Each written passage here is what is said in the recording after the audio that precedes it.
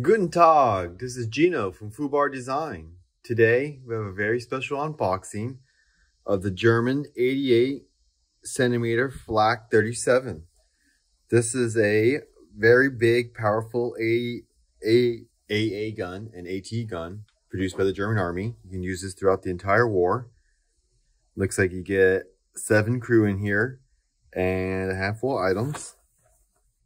And the back here, you can see this one is meant for the regular army, or at least in Europe, as it's all gray. And let's open this up real quick.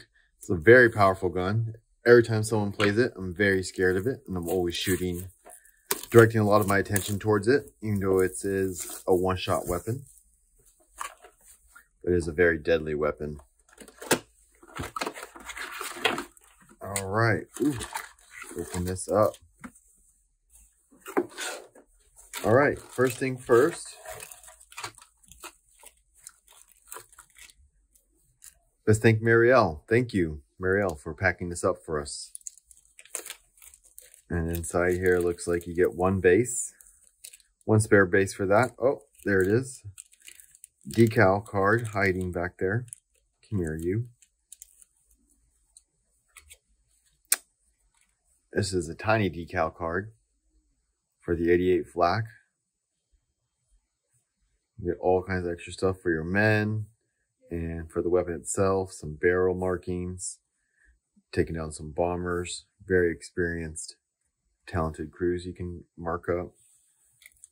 Here next, we have the ID card, the data card, let's say. As I said, this was produced in the 30s, so you can this in early, mid, and late war. It's relatively inexpensive, but it is a big big gun. One shot, plus seven. Very dangerous. All right. I'm just to go run through this real quick. You get, looks like five extra bases, five 25 millimeter bases. That brings a total of six. And then here, you get one, two, three, four, five, six, seven. Packed by Vass. Thank you, Vass, for packing this up. So let's uh let's open this up before we move on. Thank you, Vass. We have this nice and all right, first guy up. Looks like a guy holding a shell for the 88. I went it straight up, so that's where this one comes from. Has lots of gear. There he goes. Here we go. And This one has a telescope. Oops, peeled that off for somebody. This one has a telescope, pure far down the road. Oh, look at all that extra gear he has. You can look real far with those. Look at that. Almost look like an alien. Next up, another henchman carrying ammo. Typical German, following orders, always doing what he's told. Doing what they're told, I mean. Next up, looks like the, the captain, lieutenant, the officer who is leading these men, as you can see there, has binoculars. Right there too. He also has all his gear with him. It's not a bad looking metal, pretty well detailed, especially around the face. Next guy up, uh, here's the sixth guy. You got five, the seventh guy. You got six 25 millimeter bases and one crew member to sit inside the gun itself. So you can see there, he's pulling the trigger. What a lucky guy. And of course, his gear on his back, his little bread basket. More ammo carriers. This thing can unload, but you only get one shot in the game. But in real life, this thing was like a machine gun.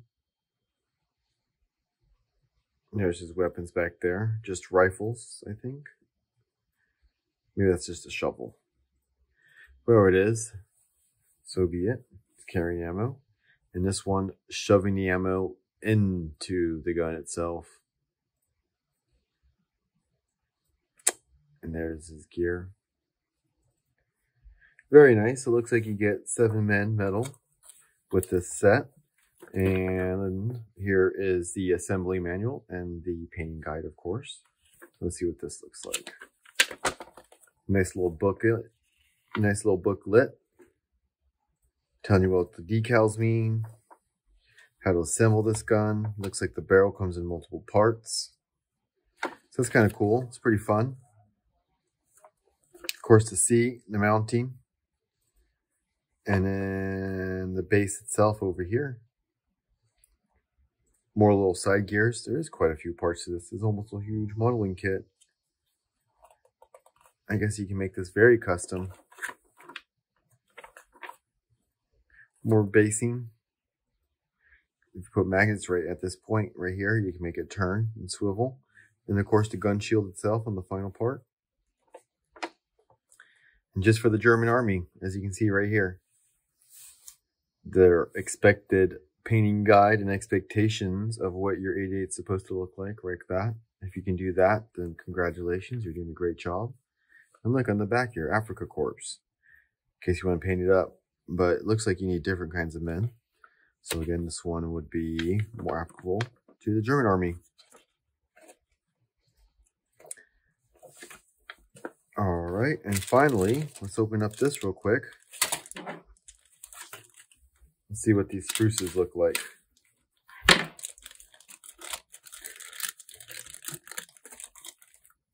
These are well sealed up. Look at that. All right, let's just take a look at this one. See here's pieces of the barrel, the gun mantle itself, the gun shield, the swivel, the brackets, and the basing itself. Lots of little extra parts. It's pretty nice looking plastic there. Pretty nice looking model. Look there, another part. The other half of the gun. The other half, uh, the other half of the mount itself. Right down here. Like all these little extra wheels. Little extra parts. That's going to be a real pain to assemble. But at least your gun will look really nice. Some extra parts right there. Really tiny parts. But if you're able to do it and handle it, it will look uh, like a really good professional gun. All right, that's all we have today. Don't forget to subscribe to our socials. Stay classy.